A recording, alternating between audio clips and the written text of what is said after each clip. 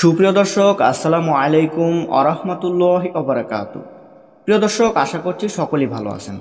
তো দর্শক, আজকে আপনাদেরকে জানাব যে যে তিনজন মানুষ অন্যের সাথে জিনা করলেও কোনো পাপ হবে না।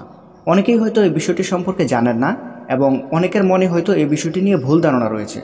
তো যারা জানেন না এবং যারা মনে ভুল ধারণা পোষণ করে রেখেছেন, তাদের জন্য আজকের ভিডিওটি অনেক গুরুত্বপূর্ণ হতে যাচ্ছে। তো ভিডিওটি না টেনে সম্পূর্ণ দেখার অনুরোধ রইল।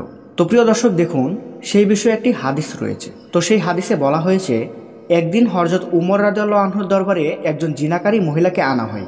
হরজত উমর রাদিউল্লাহ আনহু তাকে শাস্তিস্বরূপ পাথর নিক্ষেপ করে মৃত্যুদণ্ড দিতে বলেছেন। তো সেই মহিলাটিকে যখন পাথর নিক্ষেপ করার জন্য নেওয়া হয়েছিল, তখন হরজত আলী রাদিউল্লাহ আনহু দেখতে পাই, তখন হরজত আলী রাদিউল্লাহ আনহু তাকে শাস্তি দিতে নিষেধ করলেন। তো হরজত উমর রাদিউল্লাহ আনহুর নিকট এ কথা পৌঁছালে তিনি হরজত আলী রাদিউল্লাহ আনহু আসা পর্যন্ত বিচার স্থগিত করে দিলেন।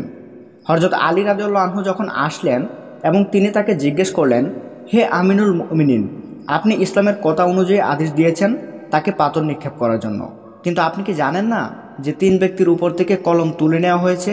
তাদের কোনো পাপ লেখা হয় না, তাদের কোনো পাপের হিসাব নেওয়া হয় না। তেমন করে এই মহিলাটিও হলো পাগল, যার উপর থেকে কলম তুলে নেওয়া হয়েছে। তো প্রিয় দর্শক হরজত আলী রাজাল আনহুর এই কথাটি দ্বারা আমরা এটি বুঝতে পারি যে তিন শ্রেণির মানুষের উপর থেকে কলম তুলে নেওয়া হয়েছে, তাদের কোনো পাপের হিসাব নেওয়া হয় না।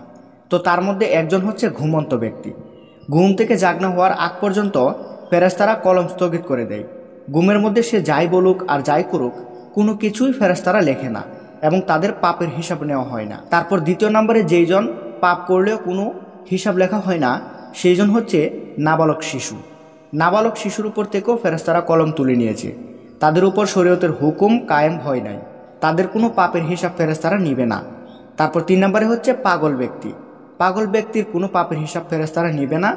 তাদের উপর থেকেও কলম তুলে নেওয়া হয়েছে। তো প্রিয় দর্শক, এই ছিল তিনজন ব্যক্তি। যেই তিনজন ব্যক্তির উপর থেকে ফেরেস্তারা কলম তুলে নিয়েছেন এবং তাদের কোনো পাপের হিসাব নেওয়া হয় না।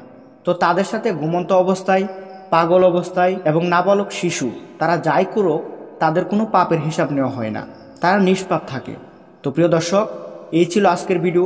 ভিডিওটি ভালো লাগলে অবশ্যই একটি লাইক করবেন এবং চ্যানেলে নতুন হয়ে থাকলে সাবস্ক্রাইব করবেন।